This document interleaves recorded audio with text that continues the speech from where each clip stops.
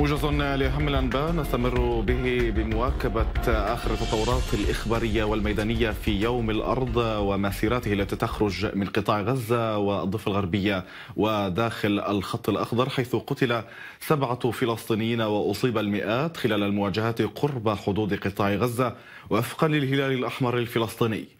وكان الجيش الإسرائيلي أعلن المنطقة الحدودية مع قطاع غزة منطقة عسكرية مغلقة. يأتي ذلك فيما يواصل العديد من المتظاهرين الفلسطينيين التقدم من داخل غزة باتجاه الحدود مع إسرائيل للمشاركة بمسيرة العودة الكبرى التي انطلقت اليوم في الذكرى السنوية الثانية والأربعين ليوم الأرض. وأشارت مصادر فلسطينية في وقت سابق إلى أن قوات الجيش الإسرائيلي المتواجدة في المنطقة أطلقت الرصاص وقنابل الغاز المسيل للدموع باتجاه المتظاهرين شرق غزة. إلى ذلك اعتبر رئيس المكتب السياسي لحركة حماس إسماعيل هنية والذي زار موقع المظاهرة. اعتبر أن مسيرة اليوم هي البداية الحقيقية للعودة إلى أرض فلسطين. اليوم شعبنا يدشن مرحلة جديدة من تاريخ نضاله وكفاحه الوطني على طريق التحرير والعودة.